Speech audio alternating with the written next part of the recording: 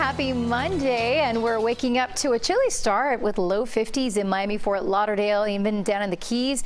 There's a gorgeous view from our Windjammer Resort camera, Judy Gal, as well as checking in from Sunny Isles and Deborah, Fort Lauderdale. Stunning sunrise views there, and radar and satellite nice, quiet and dry. Highs in the low 70s this afternoon. It'll be pleasant with tons of sunshine. Tomorrow, the upper 70s, low 80s Wednesday. We'll start to see some moisture and a front that'll lead to some more rain Thursday. 84, 79 on Friday, and cooler breeze by this weekend.